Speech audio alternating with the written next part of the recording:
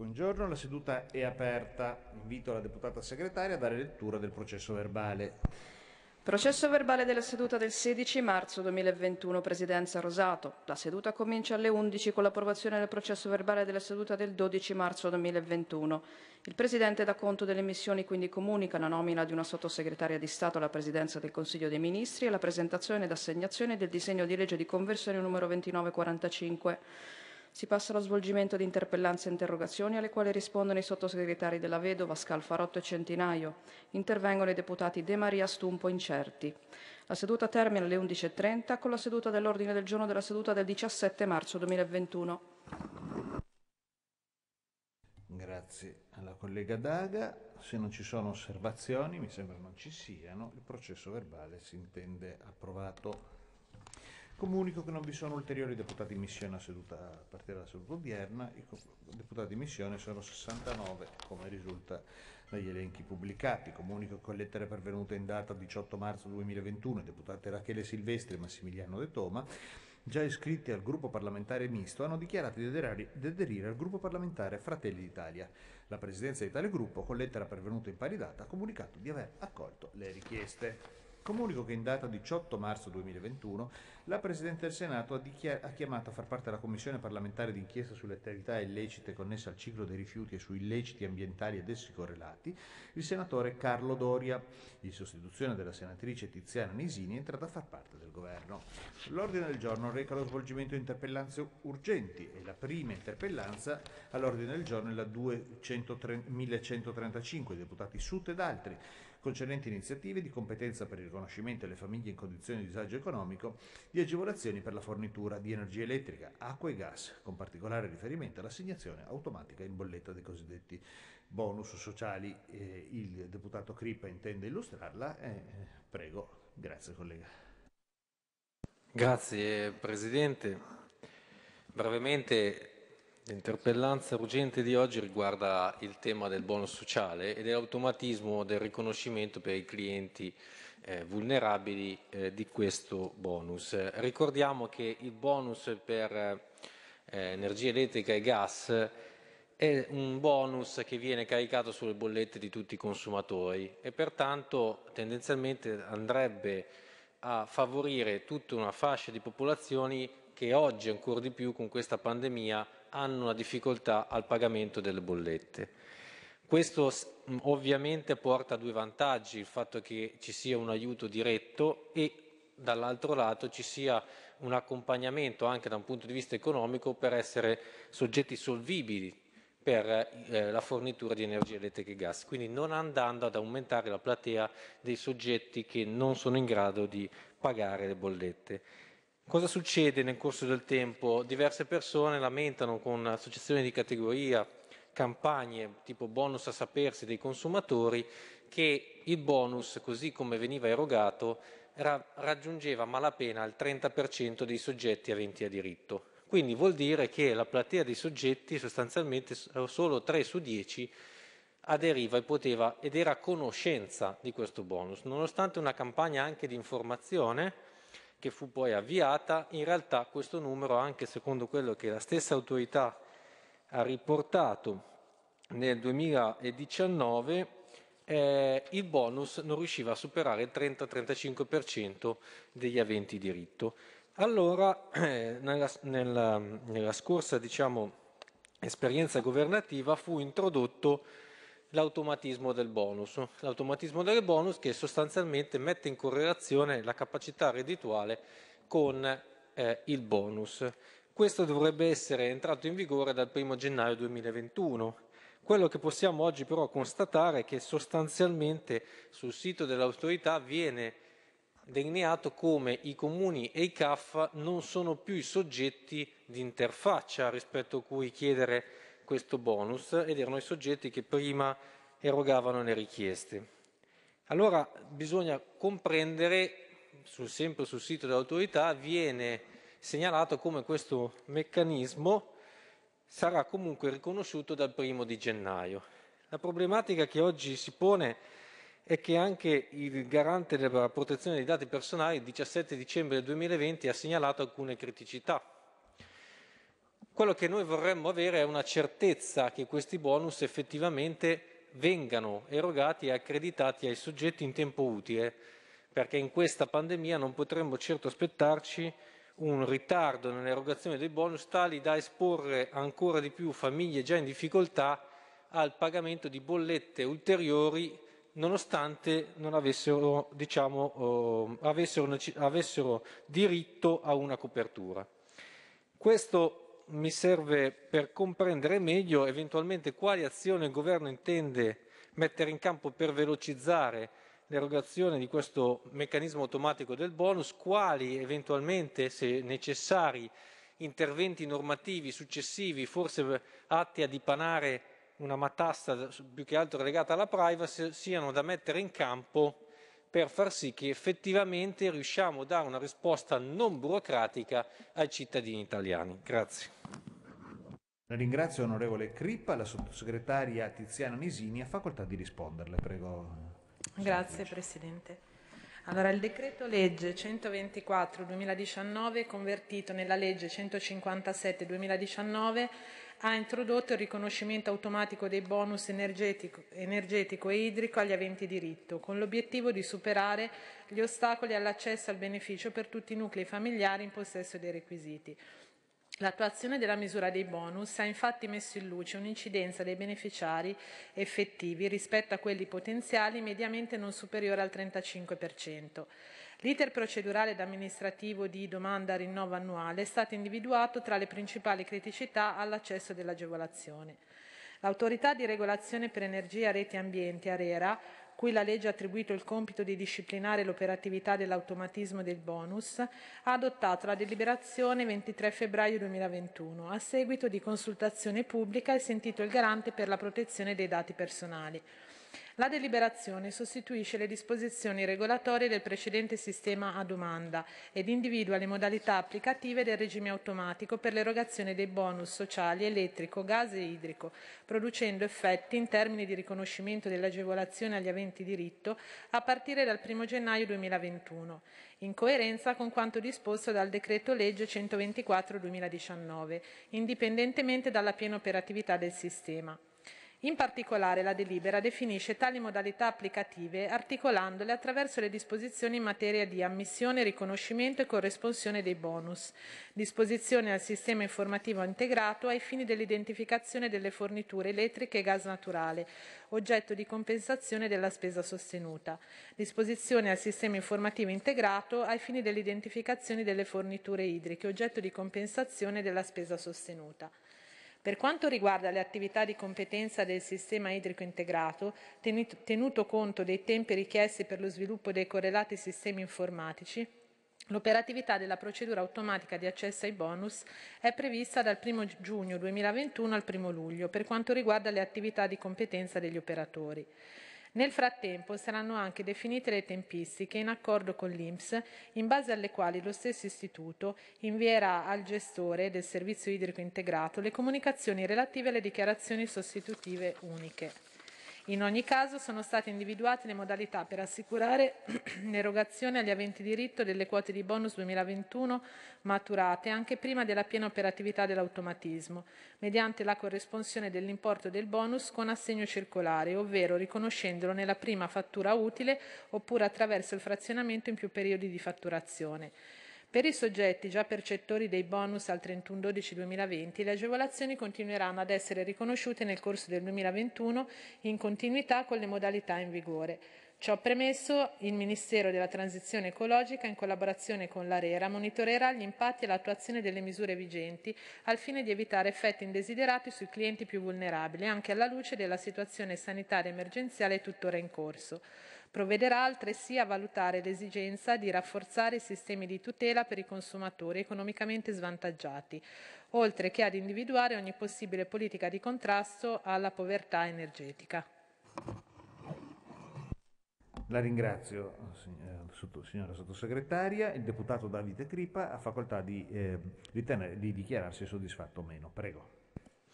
Grazie Presidente ritengo parzialmente soddisfatto della risposta perché oggettivamente noi stiamo oggi raccontando che questo sistema non è ancora pienamente operativo e nonostante ovviamente ci sia la compensazione sulla prima fattura utile, notizie ovviamente eh, note agli ambienti fanno eh, presagire che questa situazione non verrà chiarita in maniera utile e semplice al fine di andare sulla prima fattura utile con un corrispettivo economico. Perché dico questo? Perché le problematiche che sono state sollevate dall'Inps e da, eh, della gestione del trattamento, in questo caso di tutta la procedura da parte dell'ARERA, sono problematiche che devono mh, essere dipanate da un punto di vista giuridico.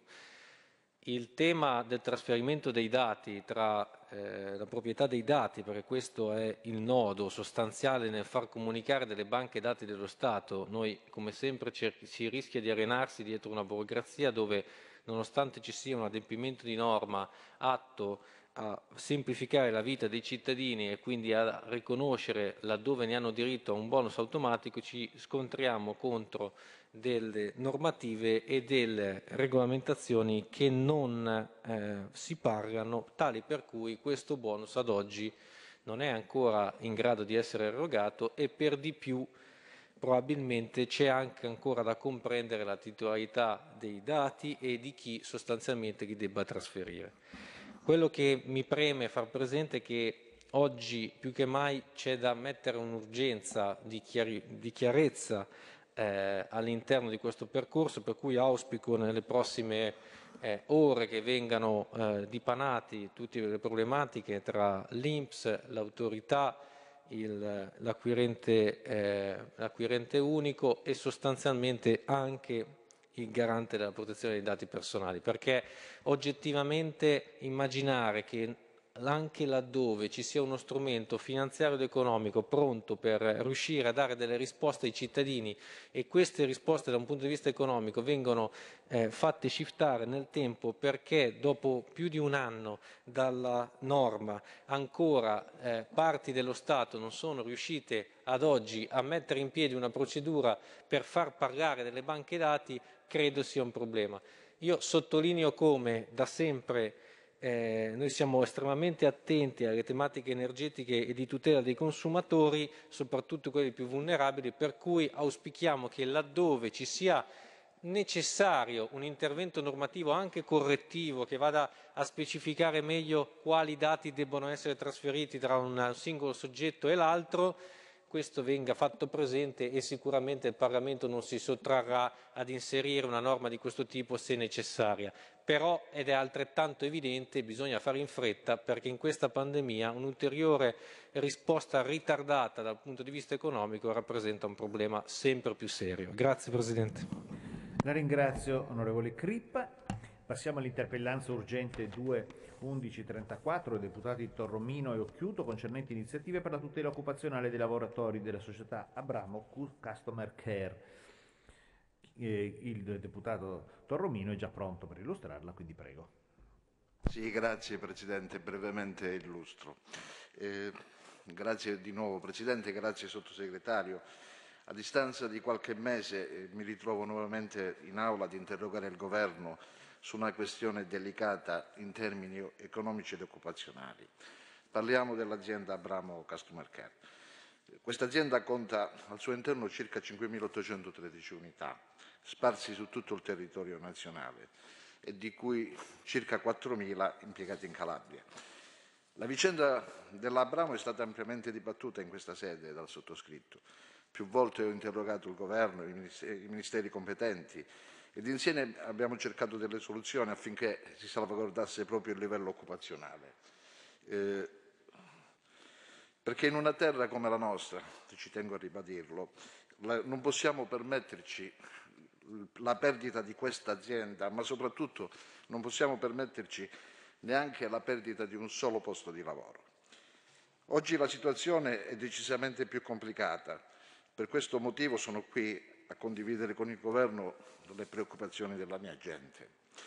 Ci ritroviamo in una fase concorsuale in cui il Tribunale di Roma ha l'onere di decidere se vi sono le condizioni per la continuità aziendale.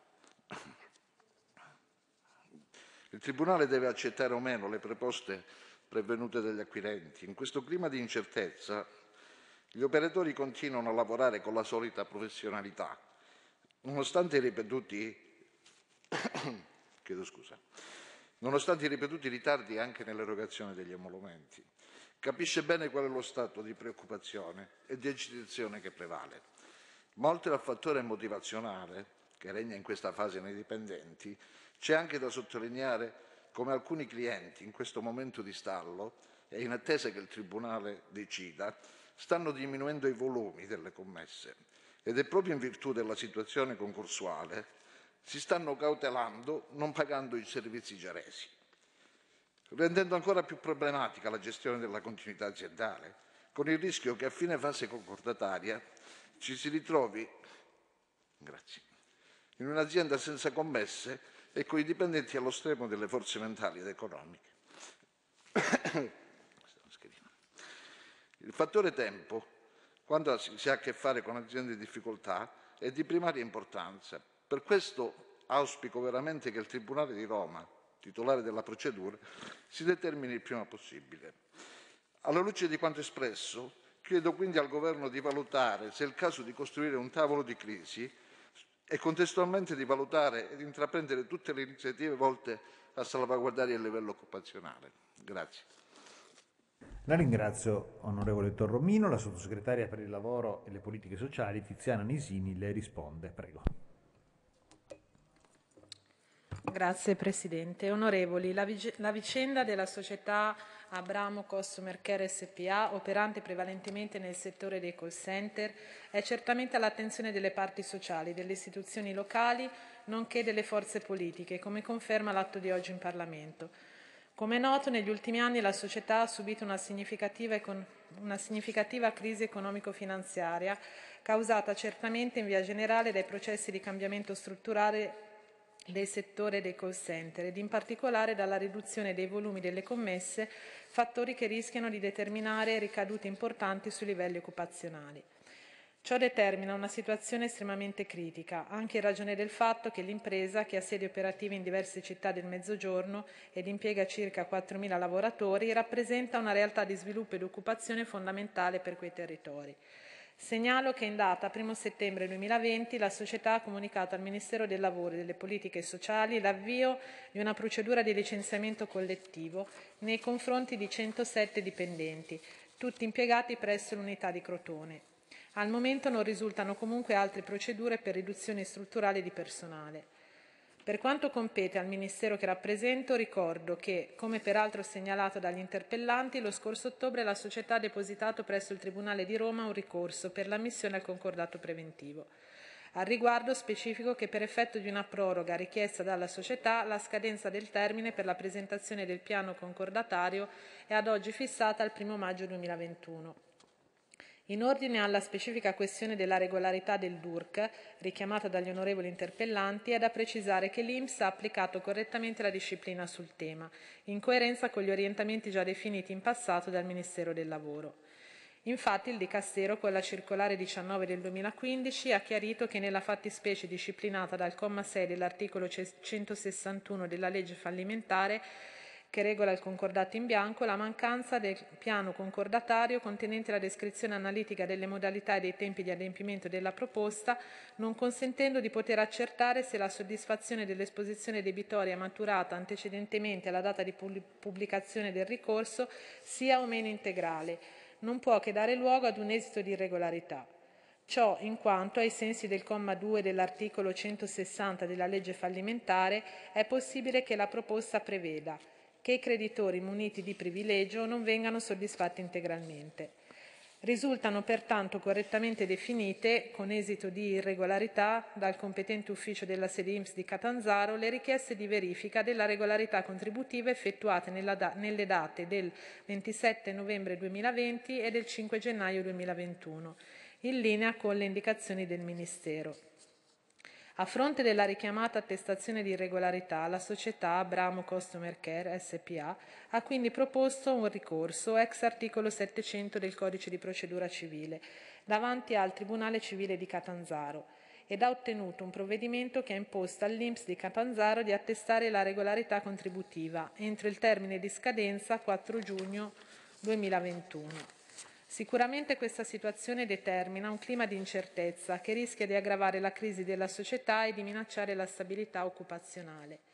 Ringrazio pertanto gli interpellanti per la vicenda segnalata sulla quale deve rimanere alta e vigile l'attenzione delle istituzioni nell'interesse dei lavoratori e del futuro dell'azienda, che ribadisco rappresenta un valore importante per l'economia delle aree di riferimento.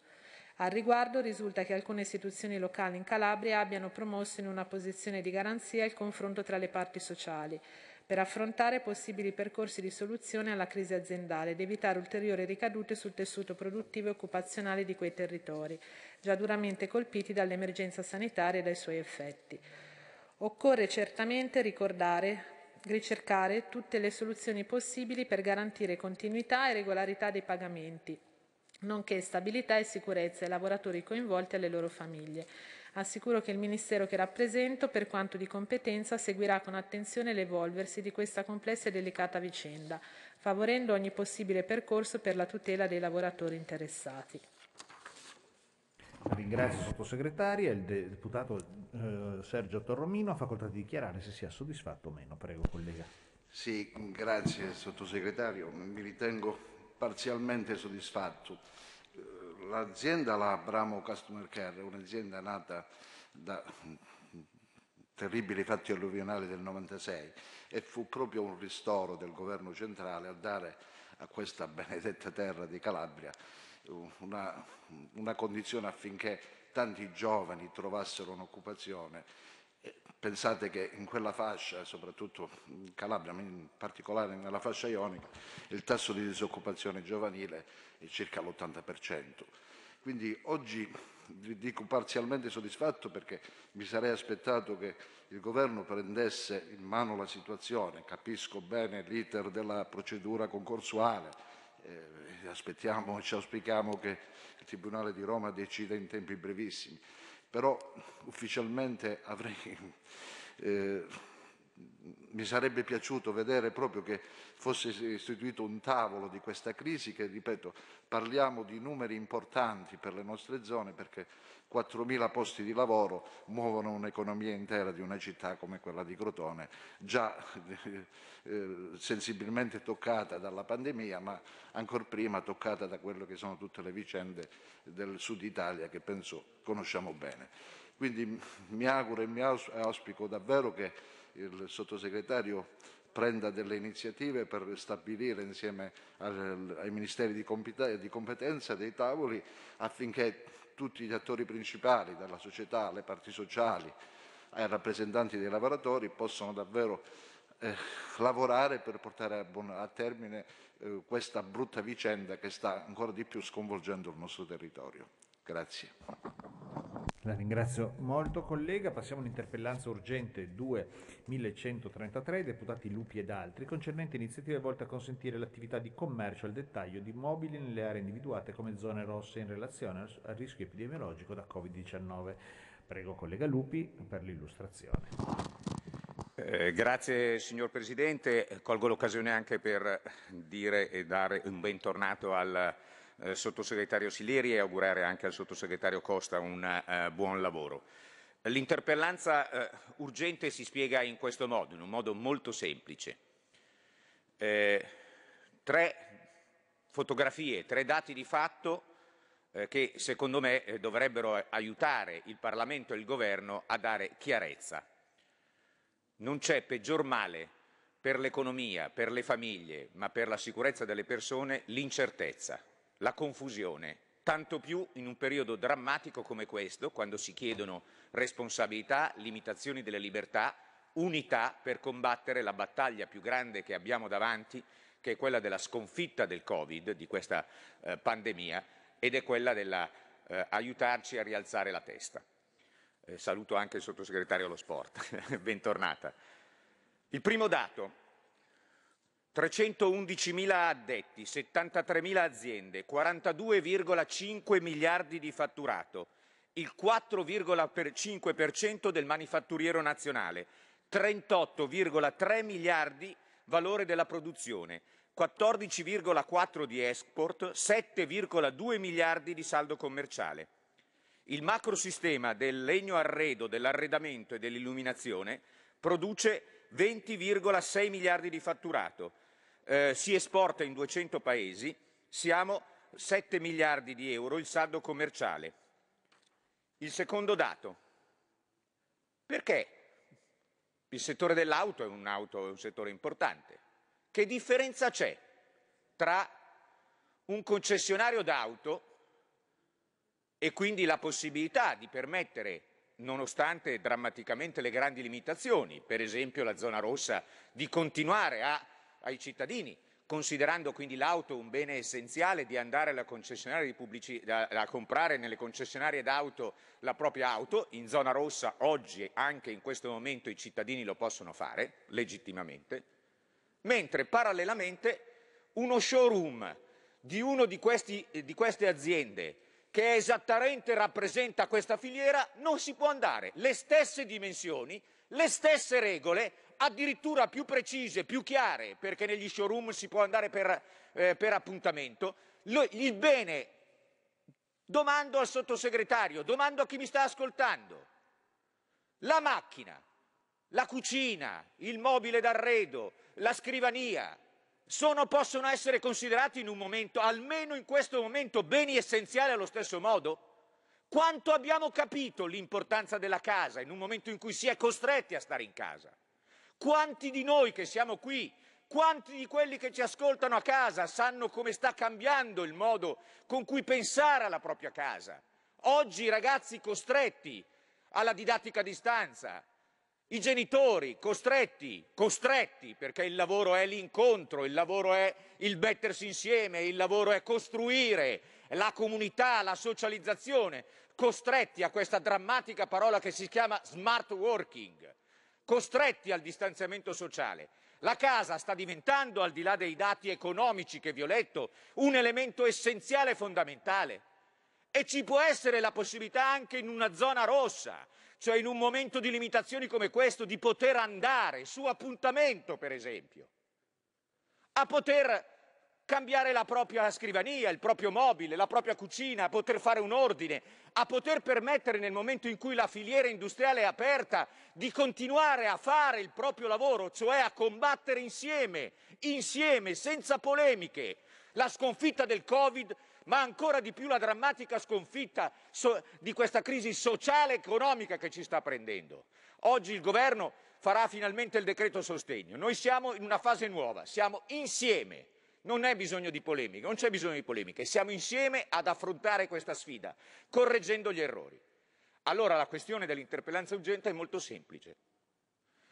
Quando ci sono le zone rosse, le zone bianche, le zone gialle, le zone, tutte le zone cui, in cui ci chiediamo di limitare, siamo chiari nelle regole. Non facciamo figli e figliastri. E, ci, e se ci si accorge, lo dico al collega sottosegretario Sileri che stimo, che c'è un errore, che si è fatto confusione, ci si aiuti insieme, si corregge. Non è indifferente poter dire ah, va bene, ah, no, io non voglio togliere le concessionarie d'auto o i saloni, Dico che se è possibile andare lì perché ci sarà un criterio che qualcuno ha stabilito, la sicurezza, le dimensioni, lo spazio, non capisco perché, bene essenziale allo stesso modo, non possa essere fatto allo stesso modo per un altro bene essenziale che rappresenta una filiera. E non mi ci si dica che arriveremo, vedremo, valuteremo. Lo si faccia, lo si faccia insieme con l'intelligenza di che cosa? E concludo, di creare quella fiducia quella lotta comune, quella basta incertezze che ci deve essere e che anche come politica, lo dico, anche come istituzioni, in questa fase stiamo dando. Mettiamo da parte le polemiche, cerchiamo di trovare ciò che ci accomuna e ci aiuta ad uscire. La domanda è esattamente questa. Il governo ci spieghi perché non è possibile che anche i negozi di mobili, di arredamento, gli showroom, addirittura su appuntamento, addirittura rispettando tutte le regole, nelle zone rosse non possano essere aperte. Se condividiamo questa preoccupazione, ci auguriamo che il Governo, insieme con le indicazioni che il Parlamento può darle, è il Parlamento che ve lo sta chiedendo, e con le dovute e assolute attenzioni, so che lei è sensibile su questo, a rispettare le regole, però si aiuti a uscire da questa confusione. Grazie. La ringrazio, eh, onorevole Lupi. Il sottosegretario per la salute Paolo Sileri ha facoltà di risponderle. Prego, sottosegretario. Grazie, Presidente. Il decreto legge 13 marzo 2021 numero 30, misure urgenti per fronteggiare la diffusione del Covid-19, interventi di sostegno per lavoratori con figli minori, didattica a distanza in quarantena, il DPCM 2 marzo 2021 hanno disposto l'applicazione di nuove misure restrittive per il contenimento del contagio.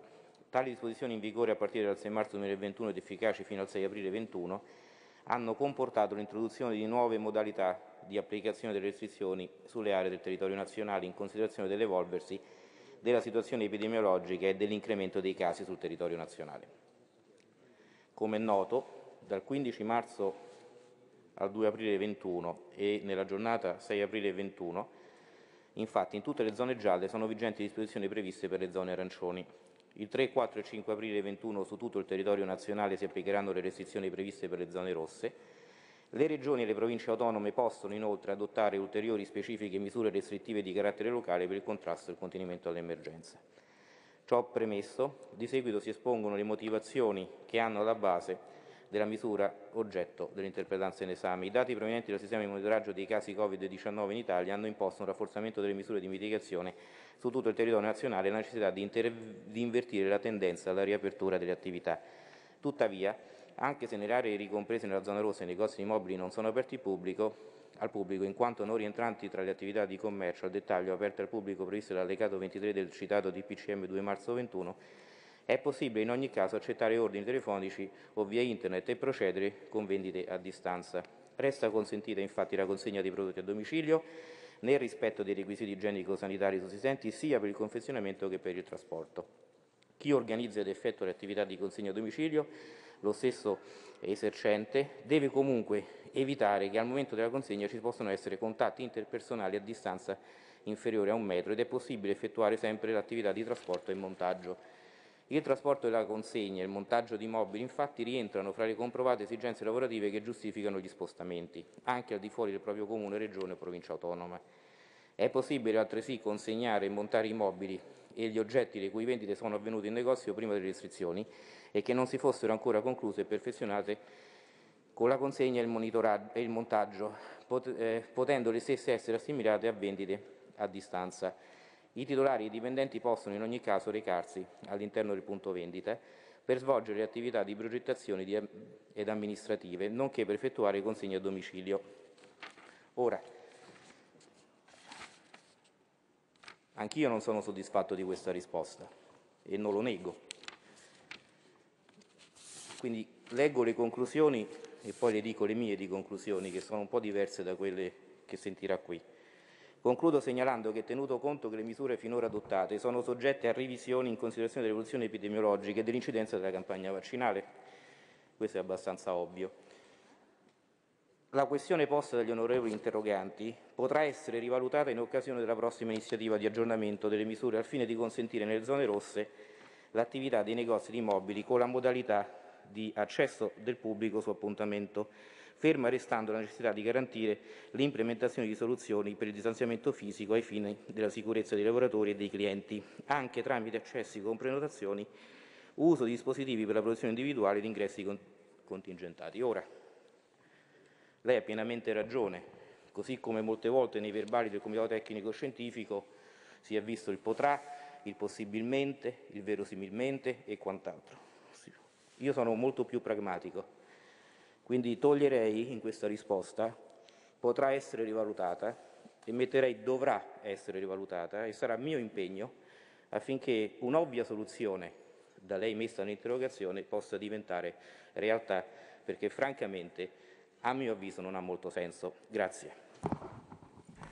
La ringrazio sottosegretario Sileri, eh, collega Lupi per dichiararsi soddisfatto o meno. Beh, eh, credo, eh, Presidente, che sia lei che eh, il sottoscritto, l'onorevole Occhiuto, tutti i colleghi di Noi con l'Italia e Forza Italia che hanno rivolto questa interpellanza sono, possano ritenersi soddisfatto della risposta del sottosegretario, cioè della risposta finale che il sottosegretario eh, ci ha dato, eh, dimostrando come, lo dico, eh, dobbiamo utilizzare eh, tutti gli strumenti a disposizione, senza i nostri alti tecnici funzionari dei ministeri noi non andremo da, nessuna, da nessuna parte, sono la più alta e grande risorsa che noi abbiamo, ma la politica, il governo deve assumersi le sue responsabilità e le fa onore sottosegretario, non ne dubitavo, indipendentemente dalle parti politiche, da cui, cioè, non c'è più divisione politica qui, qui siamo tutti sulla stessa sfida, stiamo facendo tutti la stessa battaglia, abbiamo tutti lo stesso sforzo. Quando c'è, e le dicevo le fa onore la risposta che lei ha dato eh, dopo la lettura della risposta che correttamente ho fatto anch'io il Ministro e quindi so come si risponde, come giustamente si devono rispondere alle interpellanze seriamente degli, dei deputati. Però, quando ci si accorge che c'è un'ingiustificata disparità di trattamento, non è il problema di difendersi, di valutare, di vedere, eccetera. Si intervenga, si intervenga con, subito, con celerità, e quello che io dico, ma che lei dice che tutti siamo d'accordo, chi viola le regole deve essere punito. Il problema non è tutelarsi sul fatto che dobbiamo fare pagare a tutti il fatto che magari qualcuno non rispetta le regole, non rispetta le regole sanitarie, non rispetta le mascherine, non rispetta il distanziamento, non rispetta le regole di assembramento. Per cui se ci sono 100 che non rispettano le regole di assembramento, nova, i, i, restanti 900 su 1000 devono stare tutti a casa, devono essere tutti puniti. No! si intervenga duramente, si reprima chi non si comporta bene. Le garantisco che conosco imprenditori, signori imprenditori che esportano nel mondo, ma anche il piccolo artigiano, che in questo momento è attentissimo nella sua azienda perché la tutela dei suoi dipendenti è il patrimonio di, di quell'azienda, è attentissimo che le regole che il Ministero della Salute giustamente ha dato siano rispettate. Ha visto la risposta che le imprese hanno dato immediatamente quando è stato fatto il loro appello per dire vacciniamo anche nelle imprese, perché tutti sanno che l'unico modo per sconfiggere questa pandemia è quella di lottare insieme ma anche di ritornare a lavorare.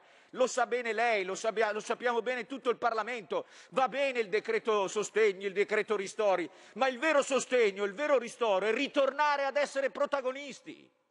Lo vogliamo capire o non lo vogliamo capire? E approfitto allora, quindi sono soddisfatto, prendo perché il Parlamento è il luogo dell'impegno solenne, vale più di un contratto quello che si sta dicendo qui. Io ho grande stima di questa istituzione, sono grato di far parte di questa istituzione eh, per i ruoli che mi sono stati, stati dati e so benissimo che quello che si prende qui è un impegno, un impegno politico, che se sarà mantenuto o non sarà mantenuto sarà giudicato da chi ci ascolta dai nostri cittadini ed è l'orgoglio con cui lei, io possiamo andare in giro. Quindi prendo il suo impegno, lavoreremo insieme se avrà bisogno perché come ha visto l'interpellanza è stata fatta appunto da diversi gruppi eh, parlamentari e facciamolo presto, facciamolo presto. Ogni giorno perso è un giorno, è un giorno in meno di una fiducia riconquistata. Vi permetto, approfittando ovviamente del tempo che ho a disposizione e, anche della sua presenza, visto il tema, anche di eh, dire altre due cose, eh, augurandomi la, in questo senso la discontinuità non delle persone, ma dell'accorgersi delle battaglie che abbiamo. Ritorneremo, speriamo, col piano vaccini, che è l'unica nostra sfida che abbiamo davanti, la vaccinazione per sconfiggere questa pandemia, poco alla volta alla normalità. Quando fra una settimana si andranno a rivedere le zone, eh, i criteri, eccetera, e speriamo che sia ripartito con forza il, questo piano vaccinale su cui tutti facciamo il tifo, correggiamo anche lì delle storture. Se uno è, zona, è ritornato in zona gialla, se iniziamo ad avere i vaccini, se iniziamo a rispettare le regole, che senso ha che un ristorante sia aperto fino alle 18 e non fino alle 20, alle 21, che se lo ha detto lei più volte, ma che senso ha? Il contagio arriva fino alle 18 e non fino alle 21?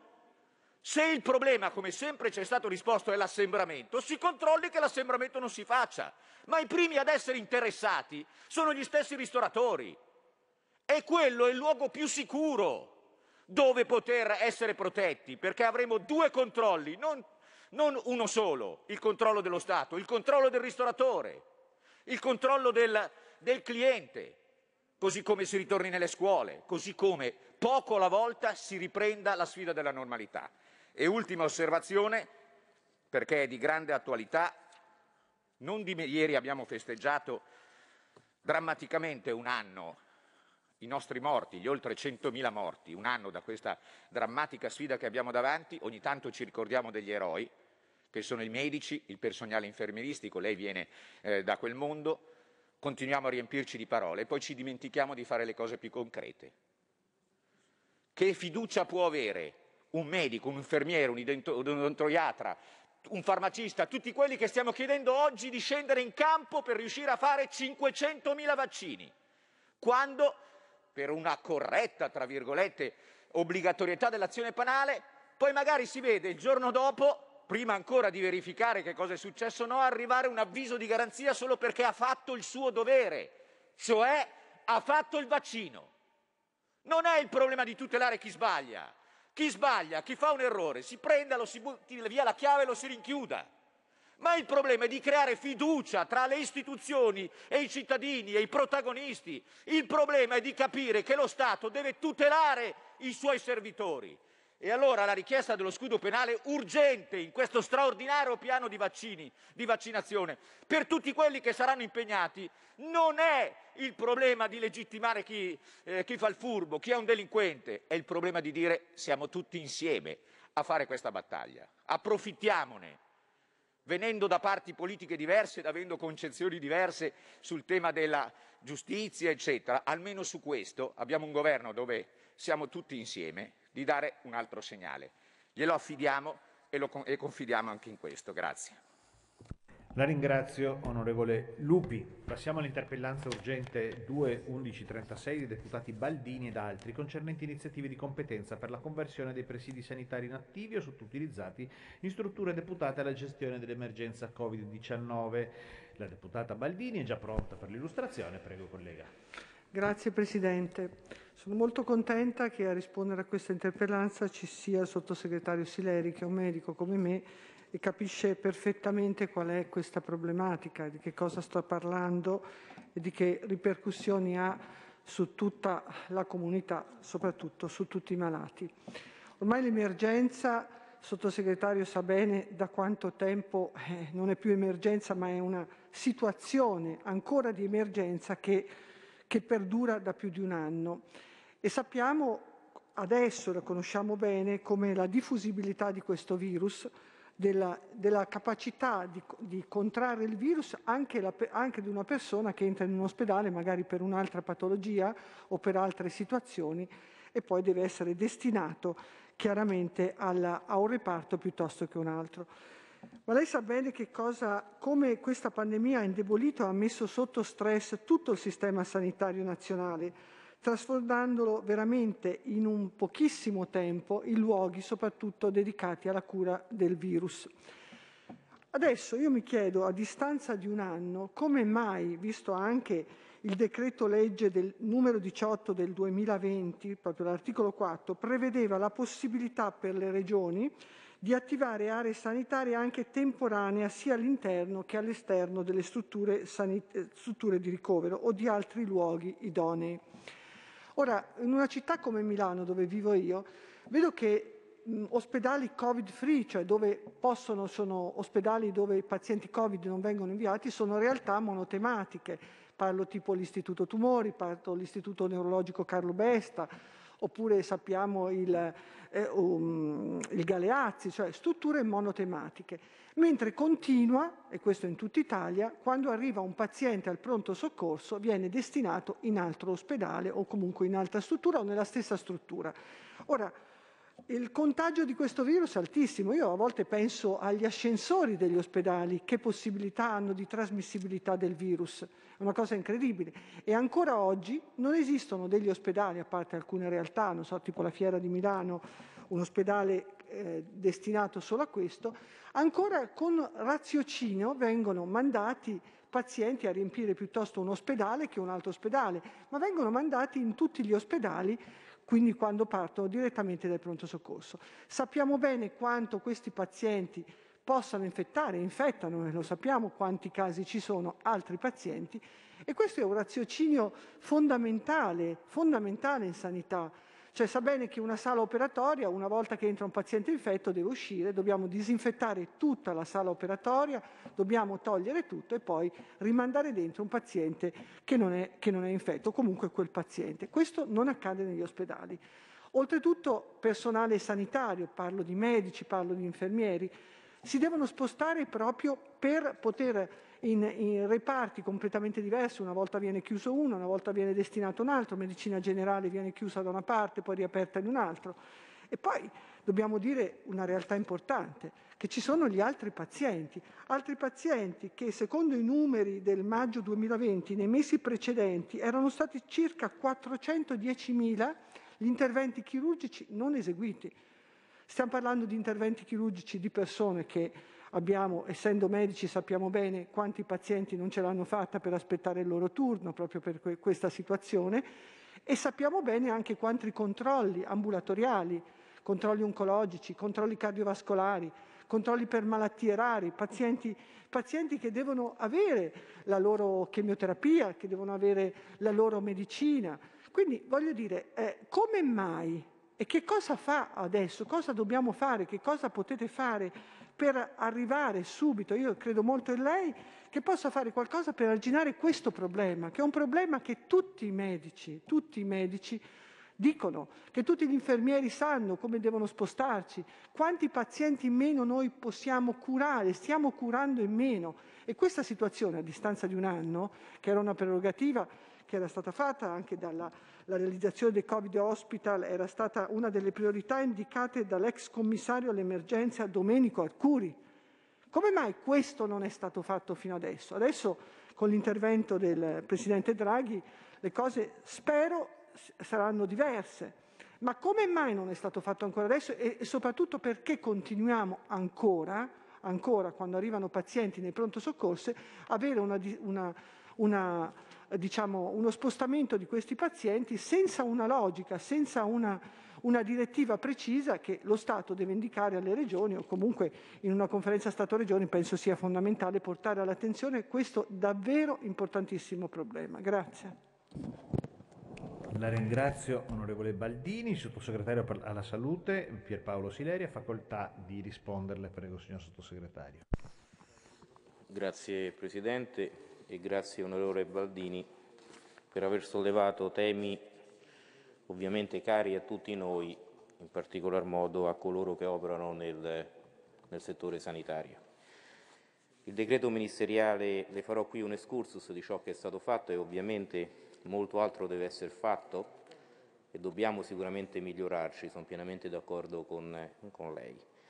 Il decreto ministeriale 2 aprile 2015 numero 70 regolamento recante la definizione degli standard qualitativi, strutturali, tecnologici e quantitativi relativi all'assistenza ospedaliera, ha rappresentato uno snodo, uno snodo fondamentale per il raggiungimento degli obiettivi condivisi nazionali e regionali di efficientamento delle cure, mantenendone nel contempo l'appropriatezza, l'efficacia, la qualità e la sicurezza.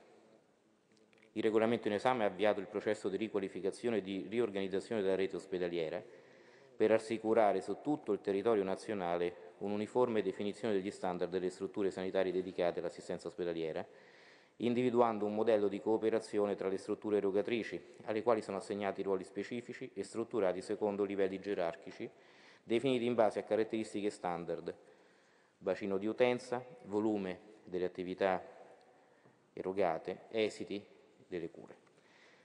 La dorsale della rete dell'emergenza e urgenza è rappresentata dai dipartimenti di emergenza e accettazione, DEA di primo e secondo livello, ai quali sono collegati gli altri due livelli di operatività, ospedale sede di pronto soccorso e il presidio ospedaliero in zone particolarmente disagiate, costituenti complessivamente la rete ospedaliera dell'emergenza.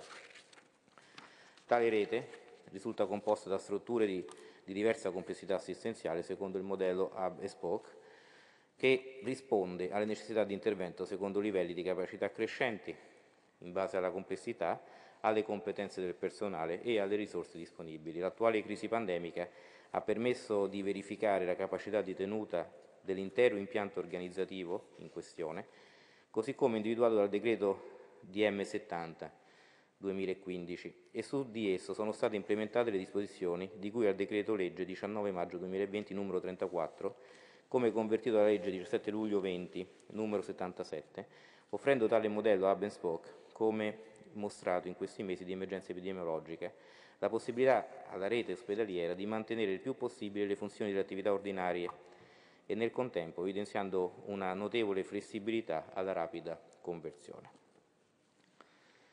Infatti il decreto Cura Italia, decreto legge 17 marzo 2020 numero 18, come convertito dalla legge 24 aprile 2020 numero 27, il quale ha apportato una serie di misure di potenziamento dell'SSN, è stato adottato per mettere il sistema sanitario nelle migliori condizioni per affrontare adeguatamente l'emergenza Covid in termini strutturali, organizzativi e di personale, favorendo per ciascuna regione, rispetto al fabbisogno causato dal diffondersi della pandemia, nuovi allestimenti dei setting assistenziali volti alla gestione della situazione pandemica con misure specifiche per il personale, dagli straordinari alla possibilità per le aste e ospedali di trattenere in servizio il personale prossimo alla pensione, misure per il potenziamento dei posti letto di terapia intensiva e di altre specialistiche, pneumologia e malattie infettive.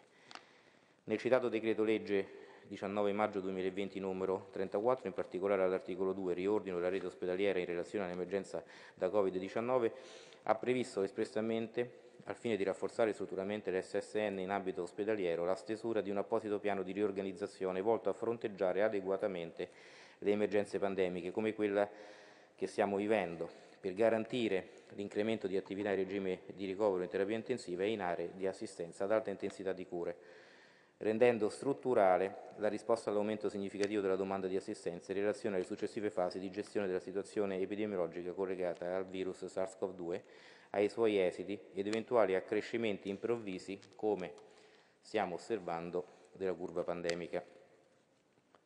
Con la circolare del Ministero della Salute numero 11254 del 29 maggio 2020, trasmissione linee guida di indirizzo organizzative per il potenziamento della rete ospedaliera per l'emergenza Covid-19, si è provveduto a fornire alle regioni e province autonome indicazioni operative in attuazione dell'articolo 2 del decreto legge 19 maggio 2020 numero 34, sottolineando la necessità di ridefinire ed integrare organicamente la rete di offerta attivata nella prima fase emergenziale dovuta all'inizio della pandemia con la rete di assistenza ospedaliera Spoke e di prevedere che tale potenziamento sia programmato nell'ambito delle strutture pubbliche della rete ospedaliera regionale, sede di DEA di primo e di secondo livello.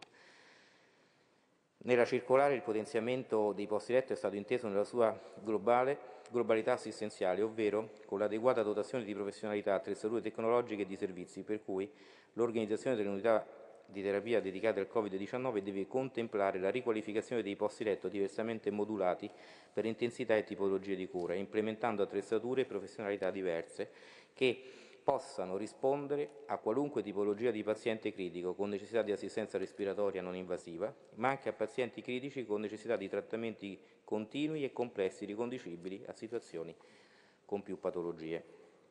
Quindi si è evidenziata la necessità della presenza di personale medico e infermieristico prontamente impiegabile e formato per garantire la multidisciplinarità e la collegialità nella gestione assistenziale di tali pazienti critici. Pertanto la nuova rete per il Covid-19 viene ridefinita, integrandola organicamente con la rete di assistenza ospedaliera regionale, in modo tale che le nuove strutture non siano lasciate inutilizzate, ma possano riassorbire l'attività ordinaria sospesa o rallentata, prevedendo meccanismi flessibili, immediatamente fruibili e sicuri, di riconversione tra le due diverse tipologie di attività.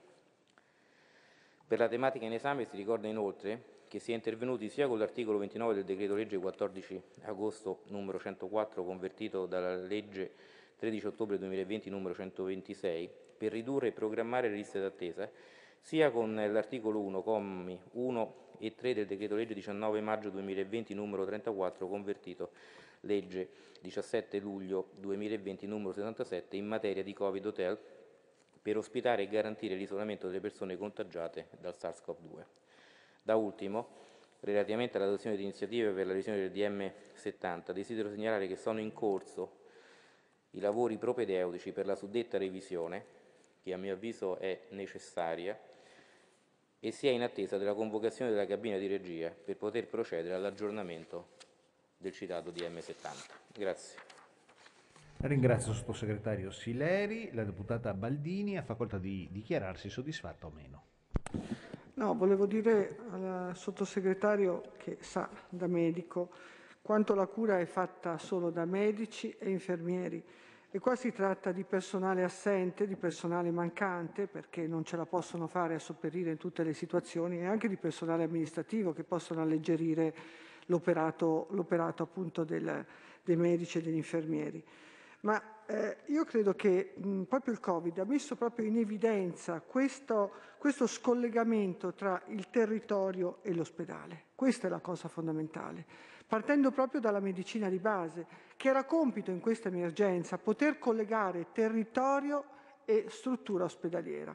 Questa è la cosa, non è che noi adesso posso sentirmi dire in una eh, non so se lei ci crede anche quello che, che, ha, che ha detto, non possiamo aspettare nuove strutture, le strutture ci sono, ci sono vecchi ospedali, ci sono strutture che possono, che possono, ospitare un paziente che magari non è certamente magari di terapia intensiva, ma comunque possono essere allestite in questa emergenza.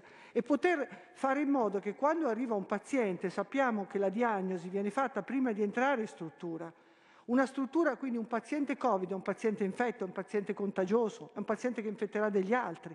Possibile che ancora oggi non possiamo dedicare spazio a queste strutture, che ce ne sono tante.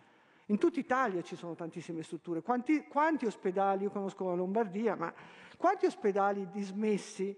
Penso a Legnano. Legnano è un ospedale, è stato fatto un nuovo ospedale, ma c'è un ospedale, ancora un vecchio ospedale molto funzionante. Ma perché non facciamo questa cosa che può essere fatta in tempi davvero brevissimi. Perché non assumiamo subito medici e infermieri e possiamo destinarli a formare amministrativi a formare questo? Perché la vaccinazione adesso facciamo, è vero con l'intervento del generale Figliuolo penso che i tempi verranno accelerati e tutto quanto, però ricordiamoci che anche la vaccinazione è un atto medico, è un atto, è un atto medico che Dobbiamo vedere eh, questa apertura alle farmacie come verrà fatta. Io personalmente, mi parlo a titolo personale, non sono d'accordo delle farmacie. Cioè non sono d'accordo che venga fatto un atto medico che sappiamo che qualsiasi farmaco, qualsiasi farmaco può avere degli effetti collaterali. E approfitto di questa interpellanza per dire, come l'ho detto subito per AstraZeneca, dobbiamo far ritornare fiducia agli italiani di potersi vaccinare. E invito ancora tutti i parlamentari, faccio un appello al Presidente, al Presidente del Consiglio, al Ministro Speranza, di poter vaccinare, vaccinare le persone in parlamentari. Noi siamo persone, io stamattina ho preso un treno regionale, sono stata quattro ore su un treno regionale a contatto con persone con mascherine, senza mascherine, a litigare anche con persone che non lo facevano e queste cose, dobbiamo fare delle cose chiare, dobbiamo dire chiaramente ci sono o non ci sono questi ospedali. Le persone non possono, non possono aspettare. Noi abbiamo, siamo persone, facciamo un, un servizio pubblico sì o no? Siamo persone esposte sì o no? Io sono qua vicino a una persona, come sappiamo tutti, no, che ha una, ha una patologia cronica, una persona a rischio e non è vaccinata. Io potevo farla da medico, da medico non la faccio perché passo più il mio tempo qua e come tutti gli altri aspetto il mio turno. Però è possibile che non abbiamo il coraggio di dire le cose, come spero, eh, eh, dottor Sileri, sottosegretario Sileri, che lei da medico abbia questa sensibilità di sapere che quando un paziente arriva in ospedale, se è, se è Covid positivo può infettare tante persone. I medici adesso, per fortuna, i medici e infermieri sono protetti, non lo sono stati all'inizio. C'è stata veramente, veramente verso questa categoria una, un'azione davvero, davvero incredibile. Ma sappiamo che i medici continuano e continueranno a lavorare per questo, però dobbiamo fare in modo di creare situazioni snellenti in questa situazione, perché vuol dire, vuol dire non avere condizione e visione sanitaria, non poter aver già fatto e farlo adesso, immediatamente, una, una indicazione precisa dove deve andare quel paziente. Il paziente che arriva al PS, che arriva quindi con un'emergenza, con urgenza, emergenza, urgenza territoriale, territoriale, deve essere già predisposto, deve essere già fatto. Però ricordiamoci che senza medici e senza infermieri la, la, cura non può esistere e la visione sanitaria non può averla certamente una persona che la medicina la conosce per sentito dire. Grazie onorevole Baldini. E passiamo all'interpellanza urgente delle deputate 2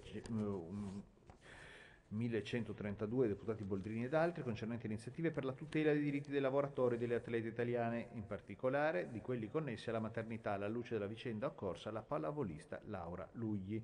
La deputata Boldrini è già pronta a, a illustrare la sua interpellanza. Grazie, grazie, grazie signor Presidente, signore rappresentanti del Governo, colleghi e colleghe. Allora io espongo brevemente i contenuti di questa interpellanza urgente che è stata sottoscritta da 40 deputate, 40 colleghe appartenenti a diversi gruppi parlamentari. In questa, in questa interpellanza denunciamo la clamorosa ingiustizia che ha dovuto subire Laura Lugli, una donna di 38 anni, un atleta, un atleta del volley Pordenone. L'accordo che la legava alla società sportiva e questo che sto già per dire è già gravissimo, di una gravità inaudita, conteneva una clausola, una clausola secondo la quale in caso di gravidanza si sarebbe proceduto al licenziamento per giusta causa. Ci rendiamo conto di quale livello di discriminazione si può raggiungere? Cioè un uomo, un atleta, può diventare padre, non succede niente nella sua carriera sportiva. Invece se una donna, un atleta, vuole diventare madre, deve anche mettere una croce sulla sua carriera sportiva. Ma vado avanti, signor Presidente. Nel 2019 Lara rimase incinta e lo comunicò ai dirigenti del suo club. La risoluzione dell'accordo fu l'immediata conseguenza e altrettanto immediatamente venne privata dello stipendio. Ma pochi giorni dopo un altro evento colpì duramente Lara Lugli, la perdita del bambino. Lara reclamò lo stipendio dell'ultimo mese in quanto aveva lavorato e per tutta risposta che cosa fece la società? La citò per danni, sì Presidente, ha capito bene, la citò per danni. La citò per danni. Sì, perché secondo loro un atleta che sceglie di essere madre reca un danno alla società sportiva. Ma che mondo è questo? Che mondo è questo? Ecco, semplicemente è il mondo dello sport italiano. Questo è il mondo, è il mondo dello sport italiano, un mondo in cui gli atleti professionisti possono essere soltanto uomini. Sono soltanto quattro le discipline sportive che riconoscono il professionismo, il calcio fino alla Lega Pro, il ciclismo su strada, il golf e la Serie 1 di pallacanestro. Ma attenzione, lo riconoscono soltanto per gli uomini. Significa che le atlete non sono ritenute professioniste in nessun campo, in nessuno, e neanche quando vincono le medaglie d'oro alle Olimpiadi. E lo dico qui alla sottosegretaria che so che capisce il tema, essendo lei stessa un atleta. La sottosegretaria Vezzali sa di che cosa parlo.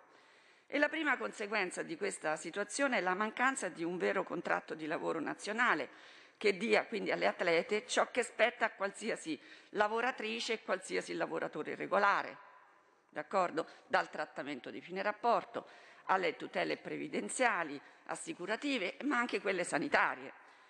E allora che cosa succede? Allora ci sono accordi privati, come il caso che ha riguardato Lara Lugli, quindi stipulati tra l'atleta e la società, accordi in cui si può scrivere perfino, perfino che se decidi di essere madre automaticamente sei fuori. Nel 2019 è esploso in Italia il tifo per la nazionale di calcio femminile, le abbiamo viste tutte queste ragazze straordinarie. La nazionale era guidata da Milena Bertolini e abbiamo tifato per loro durante i campionati del mondo in tante, in tanti abbiamo anche ammirato la forza, la bravura di Sara Gama, di Barbara Bonanzea, di Laura Giuliani e di tutte le ragazze che scendevano in campo. Bene, tutte non professioniste, sia chiaro Presidente, eh? a, camp- a campionati del mondo, ma non professioniste. Eppure, Eppure, intorno a quel campionato hanno gi- girato milioni di euro di diritti televisivi, di inserzioni pubblicitarie, come succede d'altronde nei tornei maschili, quelli però sì sono considerati ufficiali. Ma lo stipendio di una calciatrice, in quanto non professionista, non è neanche lontanamente lontanamente paragonabile a quello che guadagnano i colleghi maschi. Vede Presidente, è il gender pay gap di cui spesso parliamo in quest'Aula, è il gender pay gap portato sulla stratosfera, all'ennesima potenza, non saprei neanche come definirlo. E sappiate, sappiate, signor Presidente e signore rappresentanti del Governo, che, che quello che è accaduto a Lara, a Lara Lugli non è affatto un caso isolato, basta con le ipocrisie, diciamolo in quest'Aula, basta con le ipocrisie, va bene?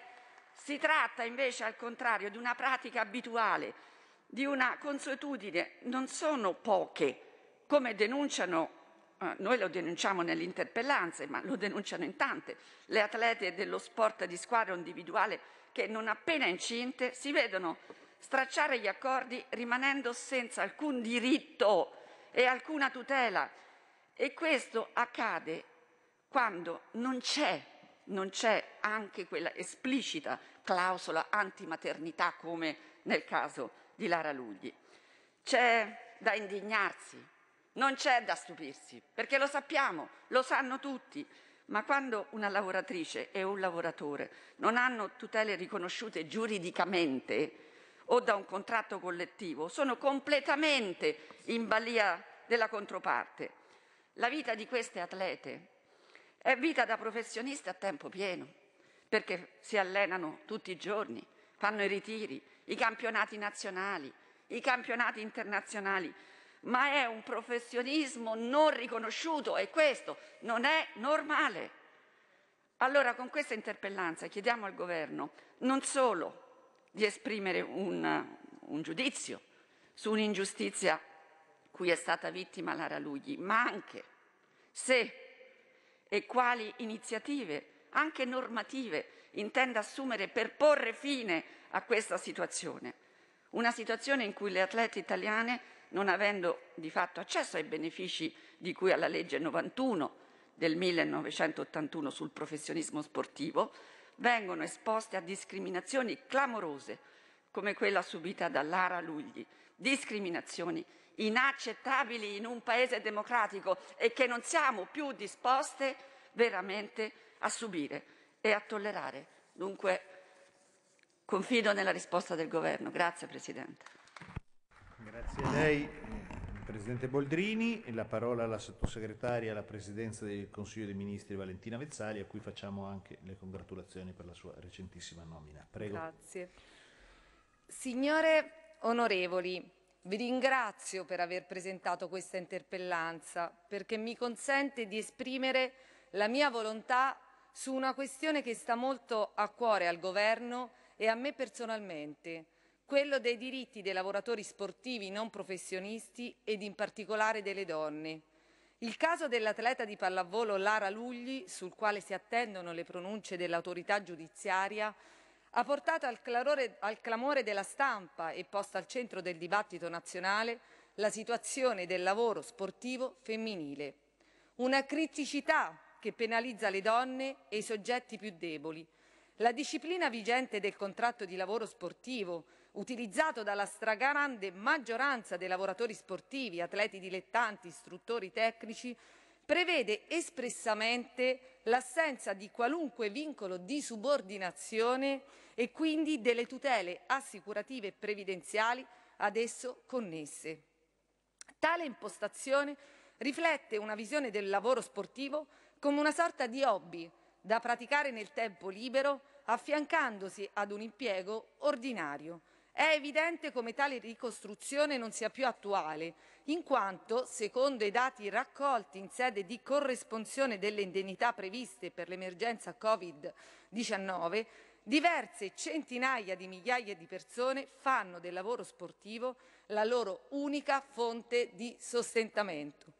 L'attività del governo negli ultimi anni è stata improntata a cercare di porre rimedio a questa situazione incominciando dalla fattispecie che riguardano i soggetti più fragili. È stata già ricordata l'introduzione nell'ambito del Fondo unico a sostegno del potenziamento del movimento sportivo italiano L'istituzione con legge di bilancio nel 2018 e nel 2020 al sostegno della maternità delle atlete e sono stati destinati 500.000 euro.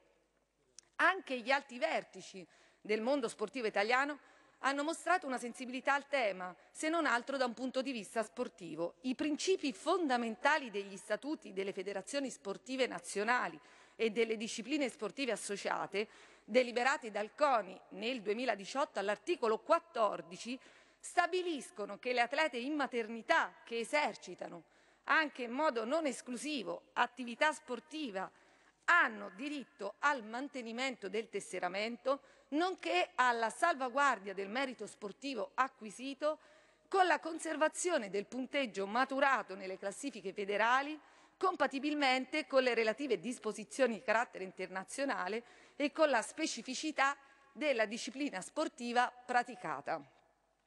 Un significativo passo avanti per i diritti delle lavoratrici si verificherà con l'entrata in vigore dei decreti attuativi della legge delega 8 agosto 2019 numero 86. In particolare, il decreto attuativo dell'articolo 5 della predetta legge delega, elaborato, sentite le organizzazioni rappresentative del settore, riforma totalmente la disciplina del lavoro sportivo, introducendo tutele e forme assistenziali per le lavoratrici e i lavoratori del settore. Il titolo quinto del suddetto decreto prevede che l'attività di lavoro sportivo possa costituire oggetto di un rapporto di lavoro subordinato o di un rapporto di lavoro autonomo con tutte le tutele del caso.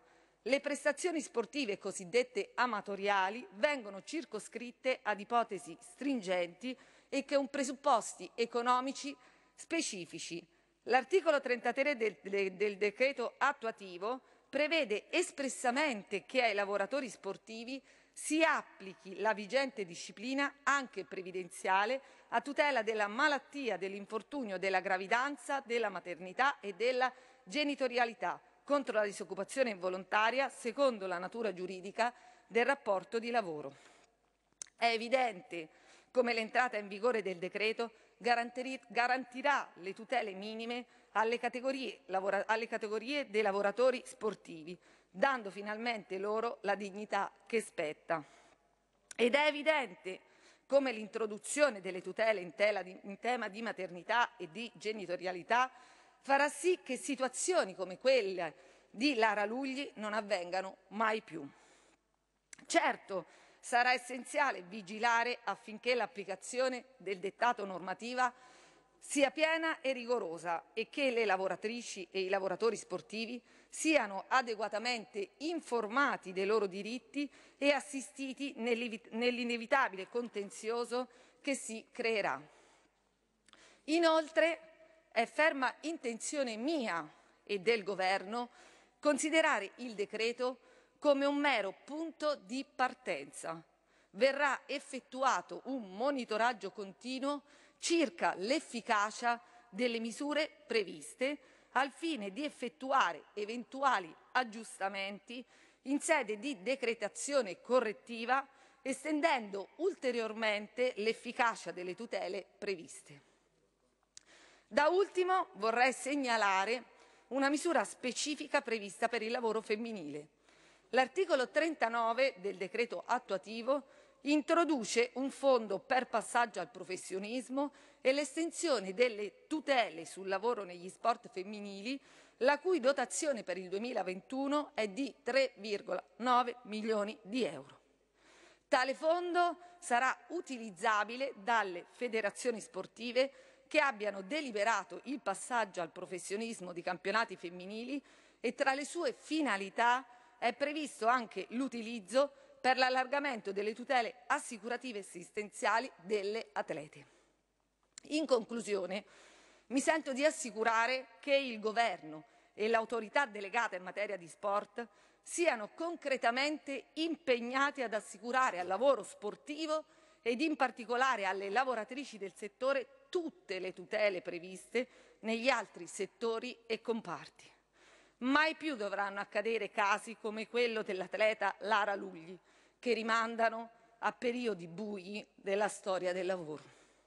e sono convinta, con l'attenzione e la vigilanza che l'autorità delegata in materia di sport e gli organismi sportivi dedicheranno alla questione, non si, verificheranno mai più.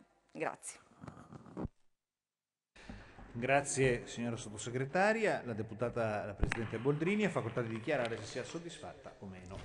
Presidente, signora sottosegretaria, allora il caso di cui abbiamo parlato, lei ha ragione, è salito all'onore delle cronache. Ne ha parlato anche la stampa internazionale, il New York Times, The Guardian. Le assicuro, non ci abbiamo fatto una bella figura. C'è da vergognarsi. E allora bisogna sapere dirselo che denunce da parte di associazioni su casi di questo genere sono state promosse già da tempo, d'accordo? Ma il CONI e le federazioni interessate hanno fatto finta di niente, d'accordo? Vede, signora sottosegretaria, io rispetto all'autonomia del CONI, ci mancherebbe, così come quella delle federazioni sportive, un'autonomia da tutelare gelosamente. Non devono rispondere ad altri se non alla Costituzione. E però, e però la Costituzione, all'articolo 3, parla del principio di uguaglianza, vede? Il principio di uguaglianza, siamo tutti e tutte uguali e non può esserci nella società italiana una discriminazione in base al sesso che è esattamente quello che sta succedendo nel mondo dello sport. Il concetto di parità nello sport è talvolta così umiliato, umiliato eh, per fare un esempio che mi hanno riferito ri- recentemente, nella federazione di pallamano, ok? L'allenatore della nazionale maschile può prendere 80.000 euro l'anno e la sua omologa che allena la nazionale femminile 7.500 euro all'anno per lo stesso lavoro. Allora questa situazione di disparità è chiaramente incostituzionale. Il governo e il Parlamento debbono porvi rimedio senza ulteriori ritardi. È per superare queste, queste, differenze che durante il primo governo Conte presentai, io presentai alla Camera alcuni emendamenti quando il provvedimento arrivò qui in aula, era il disegno di legge in materia di ordinamento sportivo. Il contenuto del primo emendamento fu accolto dall'allora sottosegretario Giancarlo Giorgetti e adesso nel testo di, questa, di quella legge c'è scritto che bisogna garantire la parità di genere nell'accesso alla pratica sportiva a tutti i livelli. Furono accolti nel provvedimento anche altri miei emendamenti. In uno si afferma, si afferma per la prima volta il principio delle pari opportunità anche nell'accesso al professionismo sportivo e nell'altro la uh, prevenzione di molestie, di violenze di genere e anche di condizioni di discriminazione. E nella legge di bilancio del 2020 fu introdotto un emendamento per estendere alcune tutele previdenziali alle atlete, nel quale emendamento però si concedeva alle federazioni nazionali la facoltà, signora sottosegretaria, la facoltà di riconoscere il professionismo delle atlete. Certo, un passo avanti, d'accordo, lo possiamo dire, ma nulla cambierà finché questo rimarrà appunto una facoltà anziché un obbligo. La battaglia sarà vinta quando a decidere se puoi accedere al professionismo e godere delle tutele elementari di qualsiasi lavoratore e lavoratrice non sarà il tuo datore di lavoro, ma una legge, una legge che ti riconosce come lavoratore e come lavoratrice titolare di diritti. E questo problema di fondo non è risolto. Lei è molto ottimista, signora sottosegretaria, ma non è risolto in modo efficace e definitivo neanche nel decreto legislativo. Lei infatti l'ha detto. Quindi eh, quel decreto è in attuazione appunto della legge delega di cui dicevo del 2019, che ora le commissioni parlamentari dovranno esaminare per il parere previsto. Signor Presidente, contrariamente a quanto accaduto a Lara Lugli, un'altra atleta ha avuto per fortuna un destino diverso. Il mese scorso Alice Pignagnoli, una calciatrice del Cesena, ha reso noto di essere incinta e la società ha deciso di tenerla nei suoi ranghi. Ma questa buona, anzi quest'ottima notizia, è la conferma, non la smentita, di una situazione di ingiustizia. Il futuro di un atleta ancora oggi è affidato non a diritti riconosciuti, ma al buon cuore della società e di chi la dirige. Ma le cose nel mondo del lavoro, lo diceva anche lei, signora sottosegretaria, funzionavano così un paio di secoli fa. Nello sport siamo fermi a due secoli fa. Questo è assolutamente inaccettabile. E allora facciamolo questo salto. Signora sottosegretaria, facciamolo questo salto nella contemporaneità. Riconosciamo anche alle atlete italiani pari diritti e paradignità e anche risparmiamoci veramente la vergogna di essere conosciuti come un paese che anche nello sport stabilisce un principio. Essere madre vuol dire essere fuori. Veramente non è più tollerabile. La ringrazio. Grazie a lei. Dovremmo ora passare all'interpellanza urgente 2 1116 dei deputati Bellucci ed altri, tuttavia considerato che l'interpellante non è presente, l'interpellanza è rinviata ad altra seduta. Avverto che è stata presentata la questione pregiudiziale numero 1 Lollobrigida ed altri riferita al disegno di legge 2945 di conversione del decreto legge recante misure urgenti per fronteggiare la diffusione del Covid-19 e interventi di sostegno per lavoratori con figli minori in didattica a distanza o in quarantena che sarà esaminata e posta in votazione nella seduta di martedì 23 marzo 2021 a partire dalle ore 11 quale primo argomento all'ordine del giorno. Avverto inoltre che a seguito della costituzione della nuova componente politica il gruppo misto Facciamo Eco Federazione dei Verdi nell'allegato A resoconto stenografico del seduta odierna sarà pubblicata la nuova organizzazione dei tempi relativi agli argomenti previsti al calendario del mese di marzo. Avverto infine che nel medesimo allegato A sarà pubblicata l'organizzazione dei tempi per l'esame della mozione Polidori e altri. C'è un intervento di fine seduta che è quello dell'onorevole Zolezzi. Prego.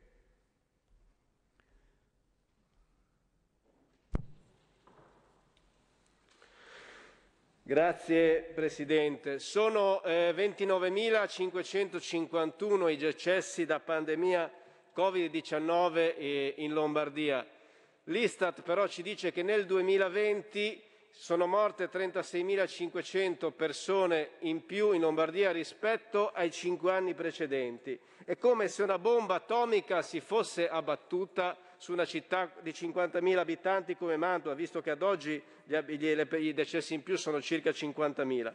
È giusto ricordare le vittime della pandemia, ma dobbiamo anche porci domande e cercare delle risposte. La sanità privata in Lombardia si cucca al 60% degli utili, è sparita la sanità territoriale. Gli organici dei medici ospedalieri erano dimezzati rispetto ai LEA gli operatori sanitari erano in burnout già prima della pandemia, adesso molti di loro assumono psicofarmaci per il grave stress. Si è arrivati all'accattonaggio della sanità privata che ha posto i prezzi dei tamponi a 60 euro e per tre mesi le farmacie non hanno potuto fare i tamponi a 20 euro. In Lombardia l'aria è cancerogena un giorno su due fra PM2,5 e ozono. La Lombardia ha due infrazioni europee aperte, se vogliamo essere europei bisogna risolvere le infrazioni eh, sulla qualità dell'aria. La Lombardia è senza amministrazione regionale da 25 anni a questa parte, da Formigone alle sue matriosche, e Maroni e Fontana. E ci sono progetti di raddoppiare gli allevamenti intensivi, di costruire centinaia di impianti a biogas e biometano, di costruire autostrade regionali fra Mantova e Cremona con soldi statali e questo renderà incompatibile con la vita umana vivere in Lombardia. L'Agenzia Europea Ambientale stima già in 12.047 decessi per il 2018 legati al PM2,5. I rapporti fra inquinamento e peggioramento della pandemia sono confermati in 400 studi. Le varianti, secondo il CDC, eh, si generano da pazienti immunodepressi o da allevamenti intensivi. L'inquinamento causa immunodepressione, in Lombardia ci sono metà degli allevamenti italiani. L'ammoniaca, secondo Mani Grasse e secondo molti studi ecologici, attiva recettore del coronavirus. Per ricordare le vittime evitiamo di finanziare opere come il TAB Brescia-Padova nel Grazie, PNR grazie, o impianti come quelli a biogas. Vanno raddoppiati i binari delle ferrovie e ricostruiti i ponti del bacino del Po. Proviamo a chiudere gli allevamenti intensivi Grazie, e a riaprire le scuole. Grazie. Do quindi lettura dell'ordine del giorno della seduta di lunedì 22 marzo 2021, ore 10, discussione generale del decreto legge recante misure urgenti in materia di organizzazione e funzionamento del CONI, discussione generale delle mozioni concernenti iniziative volte a implementare la produzione e la distribuzione di vaccini anti-Covid-19, discussione generale della mozione concernente iniziativa a sostegno della tutela delle donne. La seduta è tolta.